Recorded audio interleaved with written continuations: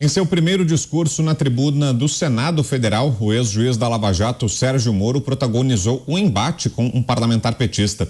Enquanto fazia falas contra a corrupção, Moro foi interpelado por Rogério Carvalho, que fez acusações pela sua atuação na Lava Jato. Eu queria, é, presidente, concordar que a gente precisa é, coibir a corrupção, inclusive a corrupção praticada por magistrados, quando no exercício da sua função. Notadamente, nós sabemos do caso que foi a anulação de todas as condenações do presidente Lula. E me parece que houve um caso de corrupção ao julgar o presidente Lula e, portanto, isso também precisa ser avaliado, precisa ser escaneado, porque esse tipo de prática do judiciário nunca mais esse país pode viver, porque isso levou a essa a essa aventura autoritária, essa tentativa de golpe que nós vimos no dia 8 de janeiro. O ex-juiz rebateu o petista e foi silenciado ao dizer que a sigla trabalhista estava envolvida em casos de corrupção. Eu repudio as suas palavras, desculpe, senador. É, é, peço à mesa, inclusive, que o senador aqui está quase me acusando de corrupção. Quem gerou esses problemas todos foi a corrupção do seu partido, senador. Desculpe. E nós combatemos essa corrupção.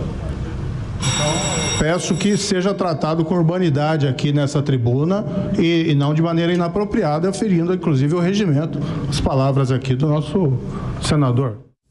Rogério Carvalho voltou a dizer que Sérgio Moro era corrupto e o bate-boca começou até que a mesa diretora interrompeu.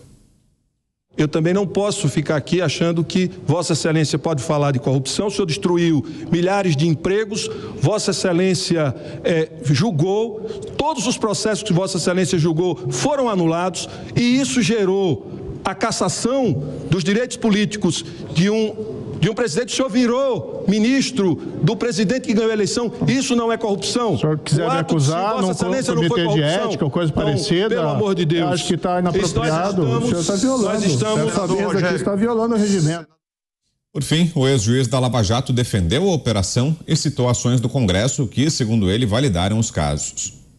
Quem gerou as oportunidades autoritárias, infelizmente, foi a corrupção dos governos anteriores que acabaram gerando essas tentações e essa descrença na democracia. Mas aí que nós temos, inclusive, o exemplo que veio o Congresso Nacional em 2016, a Câmara dos Deputados e o Senado Federal deram uma resposta importante àqueles escândalos de corrupção que foi a lei das estatais criar os mecanismos preventivos para evitar que nomeações puramente político-partidárias pudessem gerar relações espúrias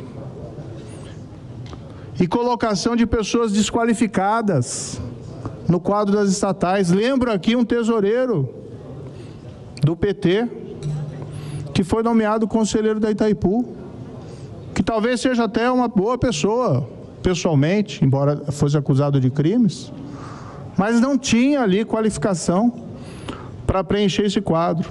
Então, o que eu faço aqui nesse momento é elogiar essa ação do Congresso que aprovou a lei das estatais. Começo com você, Zé. Que achou da cena? Eu, eu gosto desses embates, né? Eu acho que este é o espírito do, do Congresso e do Parlamento exatamente este embate direto. Isso é muito importante. Eu considero que o nome de Sérgio Moro já está escrito na história deste país e foi um momento importantíssimo na história do judiciário. Sérgio Moro mostrou, através de uma ação firme no Paraná, né, de que era possível colocar na cadeia a mão que compra os políticos safados e ladrões. Foi assim.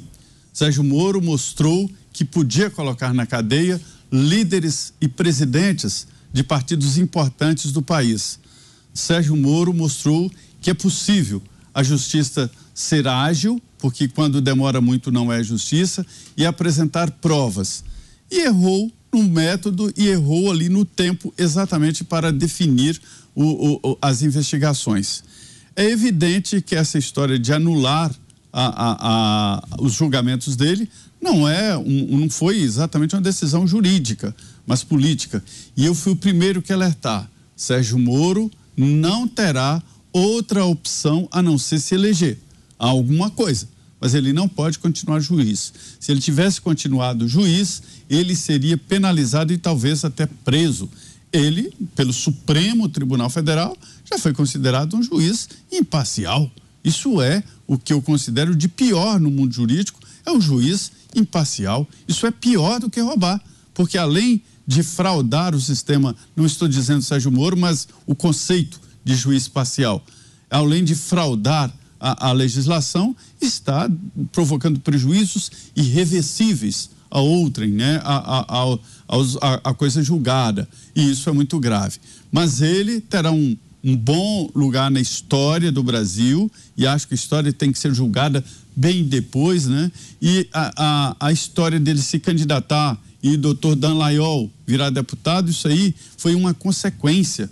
Não tinha retorno. Os dois perderiam os cargos e os dois sofreriam sanções jurídicas. O Dallagnol Essa perdeu. era a estrada pavimentada, né? Fala, Pavi. O Dallagnol perdeu. O Dallagnol foi condenado pelo Conselho Nacional do Ministério Público. Tá? Eu vou falar Virou uma... deputado federal. Né? Não, ele perdeu o cargo do, no MP. Ele foi condenado no MP por conduta é, é, é, que não condizente com o cargo. E uma bela sentença, aliás, diga-se de passagem. Vou falar aqui como quem não gosta de um e de outro parlamentar nessa discussão. E ninguém vai me chamar. Eu só posso ser chamado de um tipo de extremista, Brown. Hum. Extremamente chato. Eu sou um sujeito extremamente chato. Não. É só isso. O que, que eu vi nessa cena? Eu vi um parlamentar sacana de um partido enlameado em corrupção, tirando sarro de um juiz incompetente, mas não corrupto. Incompetente. Talvez porque tivesse vaidoso. Deu passos maiores do que a perna. Foi um péssimo juiz da Lava Jato, porque se fosse bom ela não teria sido anulada. E se fosse esperto, não teria saído da magistratura, porque a partir do momento que ele saiu, ele deu razão objetiva para o STF anular esse processo. Foi isso, foi isso. Foi isso, foi. Ah, ele, ele seria condenado. No Brasil, Zé, só dois juízes foram, foram presos e sofreram sanção na história do Brasil: o Rocha Matos e o Lalau. Todos os juízes no Brasil ou aposentam ou são é, removidos para outra comarca, ou recebem uma advertência tá, pública ou particular. Não tem juiz no Brasil que, que, que cumpre pena. Juiz, você ser um juiz corrupto no Brasil vale a pena. É legal, garantido. Dois só na história que cumpriram pena. O Sérgio Moro, ele não foi corrupto. Ele foi afoito. Ele foi inconveniente ao processo. Agora, vir um, um deputado do PT com a empáfia que ele veio. Chamar o Moro de. O Moro não é corrupto. Ele pode ter sido incompetente, ele pode ter sido estúpido de largar a magistratura, mas corrupto ele não foi. Agora, o partido do outro foi. E aí eu vejo essa discussão. E eu fico do lado do Moro, mesmo não gostando do Moro. Porque tem um partido que enlameou este país e que agora se sente no direito de reescrever a história se sente no direito de falar é, é, que ele foi responsável, que o Moro foi responsável por uma é, é, é, tentativa, aventura autoritária, uma tentativa de golpe, quando na verdade é o partido deste deputado, do Partido dos Trabalhadores, que está sustentando um golpe de Estado, porque nós, nós vivemos num estado de exceção. Hoje nós vivemos num regime de ato institucional sem a necessidade de institucionalização do ato, porque o regime militar ainda teve a decência de colocar por escrito e dizer como valiam os atos institucionais. Hoje não se põe por escrito, se pratica dizendo que se observa a Constituição. Então, vai todo repúdio a esse parlamentar do PT que deveria ter espelho e minha solidariedade ao Moro, embora eu nunca tenha é, simpatizado com ele. Você, Dantas? Olha, está muito claro que o Rogério Carvalho tentou ali provocar o Moro, isso vai se repetir ao longo do mandato da legislatura. outras figuras do PT e dos partidos satélites vão tentar provocar para que haja uma reação que acabe dando justificativa para levarem o Moro para o Conselho de Ética. É isso que eles querem. Eles querem que o Moro se irrite, fale umas bobagens, faça algumas acusações, distribua ofensas e aí eles vão tentar levá-lo para o Conselho de Ética. É, essa é a vingança do PT, que não admite que o Sérgio Moro tenha um mandato, é, tenha sido eleito né, senador da República. É, é, uma vergonha. A atitude do Moro, é, ele foi sangue frio ali, deve permanecer assim. Fez, inclusive, menção ao próprio regimento interno, que resiste a esse tipo de atuação e deve ter cuidado, deve ter cuidado. Mas já começa ali no seu primeiro discurso é, tocando na ferida. Talvez isso também tenha irritado é, o Rogério, né? Tá tocando na ferida da lei das estatais, na mudança da lei, da, da, da lei das estatais, perdão, que é, vinha evitando o aparelhamento, o aparelhamento político feito pelo PT na trinca com o MDB e com o PP lá atrás, é, e que acabou derivando no petrolão. Então, está muito clara essa, essa equação aí.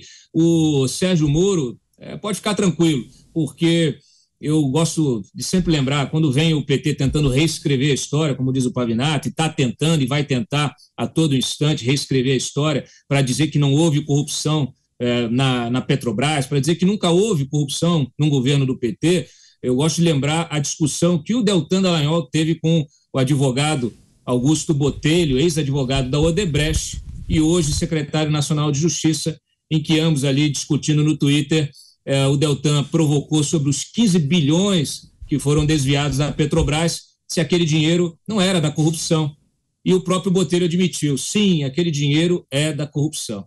Então, não há mais o que dizer. Não dá para reescrever esta história, esse capítulo nefasto da história do Brasil, é, que a Lava Jato trouxe à tona, as vísceras do país, é, com toda essa, toda essa relação promíscua que tem aí entre o público e o privado. E você, Roberto Mota, suas impressões, Mota, sobre essa cena que acompanhamos, esse embate no Senado entre Sérgio Moro e Rogério Carvalho. Mota. Lembrem do que eu falei há pouco aqui, né, sobre essa busca desesperada para criar uma equivalência moral entre o que aconteceu no governo do PT e outros eventos nesse país. Né? Isso começa, nós vimos um exemplo aqui magnífico, pela banalização de algumas palavras.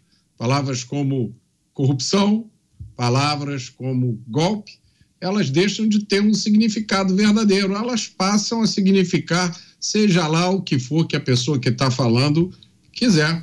Eu acho que o ex-ministro e ex-juiz Sérgio Moro não vai ter vida fácil no Senado, mas acho que isso é parte da missão dele.